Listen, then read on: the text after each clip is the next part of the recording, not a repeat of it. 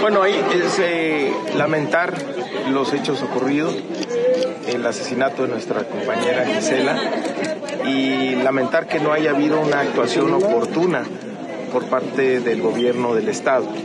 porque de acuerdo al marco de seguridad que estableció el gobierno federal con el Instituto Nacional Electoral,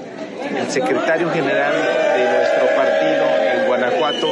solicitó la protección para eh, nueve candidatos a presidentes municipales en Guanajuato, al gobernador, el candidato a gobernadora y el candidato a senador. Pero el OPLE local, desafortunadamente, pues pidió ahí que se diera la razón porque se estaba pidiendo la protección, que presentara una querella eh, para que avalara eso y contestó básicamente que no eran tiempos todavía de campaña, que la protección iniciaba una vez que iniciara la campaña. Y eh, pues tuvimos los hechos lamentables de ayer. Por instrucciones de nuestra candidata, ya no vamos a esperar la protección del gobierno del Estado. Vamos a solicitar una excepción al gobierno federal